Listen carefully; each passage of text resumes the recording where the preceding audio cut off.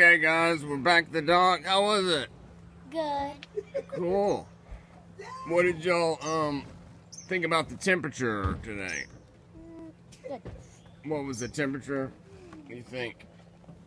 Um, Was it hotter or less hot than last time you were on the lake? warm. Probably. Warmer? Yeah, warmer. I think it got over 90 degrees. Over, uh, I mean, at least I know it got 90, but I don't know if it broke the record today. There was a record of 96.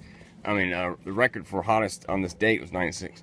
Do you think it got hotter than that today, or not to the record? I would say it kind of felt like the beach. Kind of felt like the beach. Probably okay. not to the record. Not to the record. It wasn't that bad. Okay. But the beach, so that means that's pretty hot because usually at the beach it's extremely hot, right? Outside. Outside, yeah. Okay. So we'll calculate those figures. Okay, when we get back to the house. Ready to do some math? Word problems? Okay.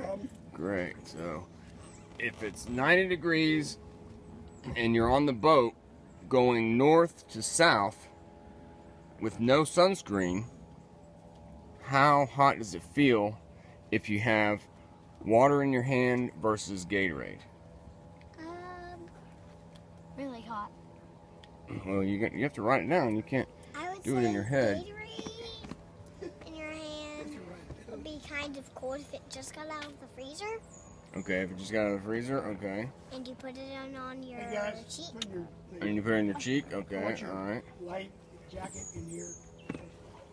So, which one do you think would become warmer first, the Gatorade or the water? I would say Gatorade. Gatorade becomes warmer first. Zack, Okay, what do you think? Zack, sit up.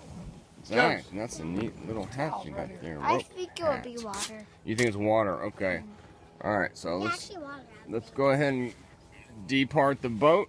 Head up